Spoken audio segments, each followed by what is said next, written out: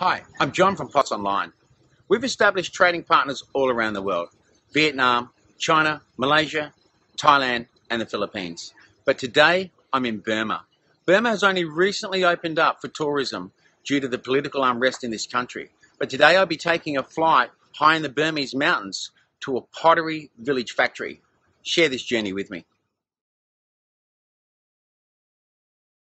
Factory. And what's amazing is the temples here. It's a Buddhist country and just quite elaborate. Mean, here, even at the factory, you can see the the extent of that that temple.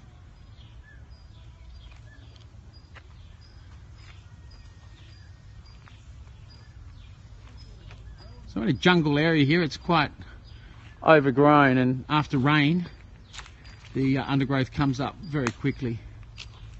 Have to watch where I step today. Chewing this, can you tell me what this is? This is pita nut. Pita nut and the the leaf and and the nut, cassia, the tobacco and some some what is it? Some dessert. Aha, so that's something that you chew, Chew it with for flavour, and then, then you spit it out. spit it out and little bit what it drum. Oh, I see. Dum. Look like alcoholic. Oh, okay. it's a bit like alcohol. Alcohol. I think I have to try one of those. Okay, so I, I eat the whole thing? Mm, mm. Okay. Give that a go. Long Oh, it's got a very weird taste. You don't swallow, do you? Mm. You spit.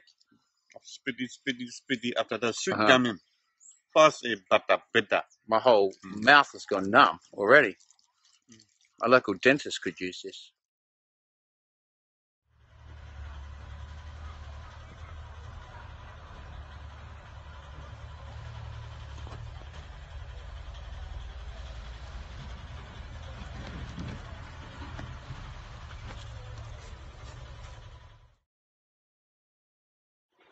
Quite impressive with the size of pots they're able to make in this kiln here. You can see the size here, standing next to that, and the lovely celadon green colour they've got, and the lovely brown. You can see that brown through there. So all the pots at this factory are handmade and some really lovely colours that are coming oh, through. Yeah, the glazes, you see. It's the glazes. Lovely glazed colours. Unique, all handmade, nothing made by machine. I really love this pot. I haven't seen anything like this before. It's called a frog jar, and if you look on the sides here, you can see the, the frogs mounted on the side. Yeah. Because the pots are handmade here and the kilns are quite tall, uh, size isn't an issue here. So we're able to produce quite some big pots here, which is which is ideal for the Australian market for you know statement pots. You can see they're preparing the clay, kneading it, all done by hand. No machines on site at this factory.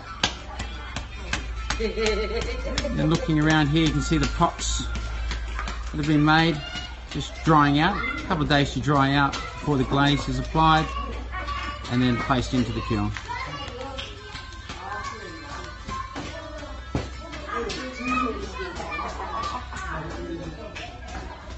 Those of you who know a little bit about pottery, uh, you have a spinning wheel. Uh, here, it's we've certainly got the wheel. It's certainly spinning, and you can see that the lady over here is actually doing the spinning, and the gentleman here is doing the, the pottery work. Quite interesting how they get the measurement of the pot to maintain the consistency uh, when you're ordering. You can see the, the bamboo across here to making sure that the, the circumference of the pot is made right. How you guys going? You enjoying the today? yeah, quite an incredible place here. Uh, just lovely to see a whole village spring up around this pot factory with, with 75 workers. Outside one of the kilns, all the kilns at this factory are gas kilns, so they'll get that nice consistency with the colour, which is a really important thing. You can see inside the kiln here, they're stacking that. getting ready for, uh, once that's full, um, that kiln will be fired. Here you can see the bigger gas kiln here, so it's quite quite a large kiln. And you can see coming off the side of the the gas pipe here,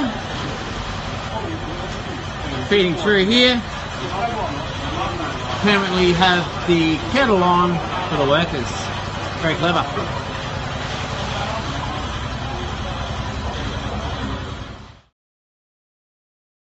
See over here behind me that they're hand applying the, the glaze. You can see how that's an orange colour, but when that's fired, that'll come out that lovely celadon green colour. So quite labour intensive here with 75 workers, but quite a, a good operation by all accounts. In Burma is that men and women have like a sunscreen on their face. You can you you know? can see here. It's very very popular. What what actually is that NT? Thanaka. Danica. Thanaka mean the Comes from a tree. Thanaka mean what I call Myanmar makeup. Myanmar traditional makeup. Comes from a tree. Yeah, the the tree. Yeah. And and did, did they buy it in a like in a bottle or something, or they take it straight from the tree? you know they can they can buy the ready made also they can make grinding with sandstone with you can shoot Thanaka. What sick, you know? So we're at the manager's Yeah, house yeah. You see, this for the pottery here. this is Thanaka. Uh, this is it here. And this is sandstone. They grind it like that with water and pork face for and protects them from the sun. yeah, and also make it.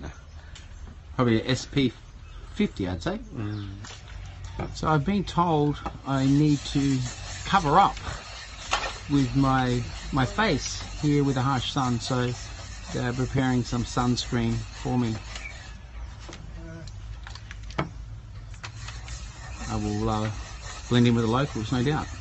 So I've now I've got my local sunscreen on. I'm protected from the sun, and uh, I'm going to sit down with the uh, the village factory here and work out some trading terms and place an order, um, which will be bound for, for Sydney. So I look forward to the pots that I've selected today uh, coming in. So remember, wear sunscreen.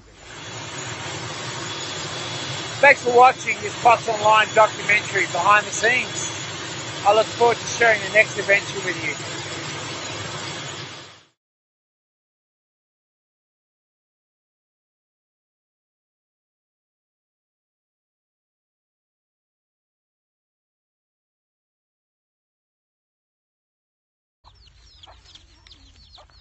Free range chickens.